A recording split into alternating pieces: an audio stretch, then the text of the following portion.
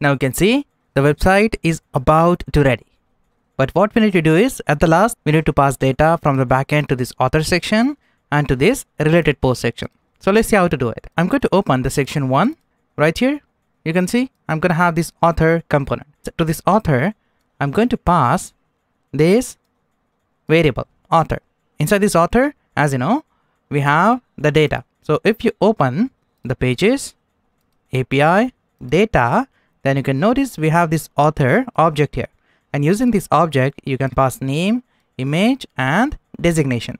So let's pass this value to this author component. So what I'm going to do is I'm going to get this author from this data and then I'm going to pass that right here.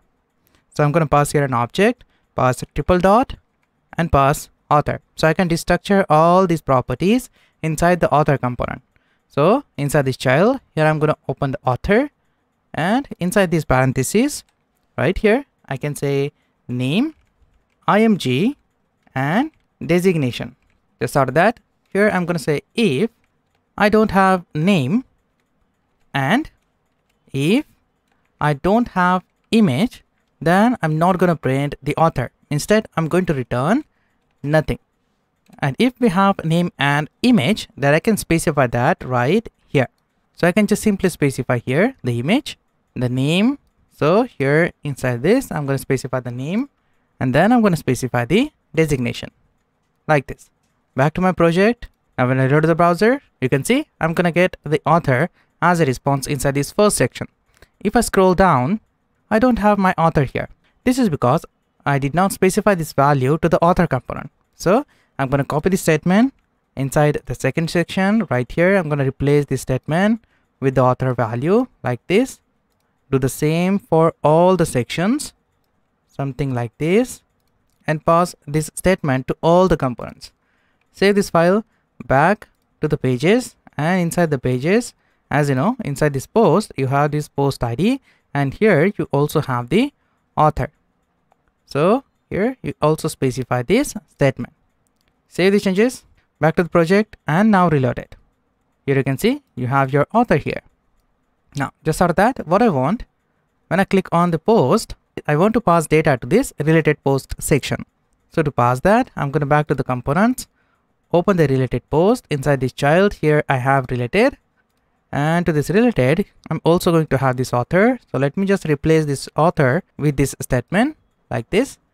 And at the top right up here i'm going to destructure a few values from the data. And this data is coming from this object right from here. And then i can pass these values right inside this component. So let me just pass this image.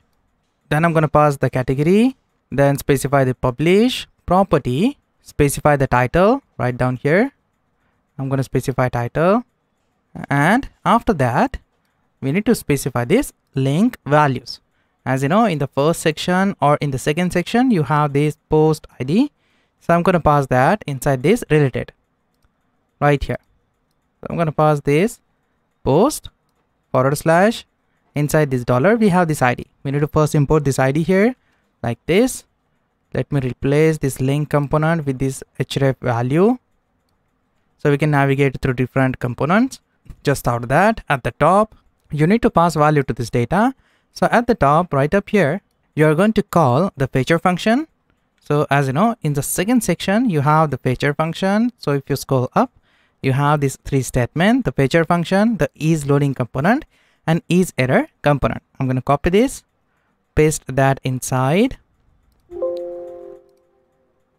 this related component right up here. I'm going to say import fetcher from the fetcher spinner from the spinner file. Now because you can see we have the spinner file in the current directory that is why I just going to specify here dot forward slash and then specify the spinner. I'm do the same for this error as well. So I'm going to say here error from the error file like this and save this file. Just out of that, I'm going to pass this data to this post. But what I'm going to do is I'm going to iterate over this post data and then print all the components. So right down here, I'm going to specify an object and specify here data.map. I'm going to call here a function called map of JavaScript and then specify here value and index. Just out of that, here I'm going to say post And to this post, we need to first specify key. The key is going to be the index value. So we first uniquely identify this post parent component and then we pass here data value. Inside this curly braces, we pass this value variable. Let me get rid of all these statements from down here. Now what you have to do is you have to return this statement.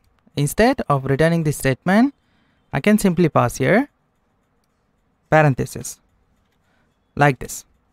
So now I don't have to specify the return statement here. Let me save this file back to the project and now you can see I'm gonna have all my components with the author.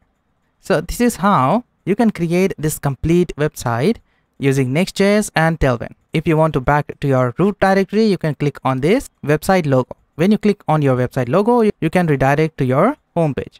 This is how you can create this beautiful website with Next.js. So I hope you enjoyed the complete Next.js journey. Now, if you want to download this complete project, you have to check out inside this last branch of this project. So you have to just specify a command called git switch and then specify the branch name, which is 22.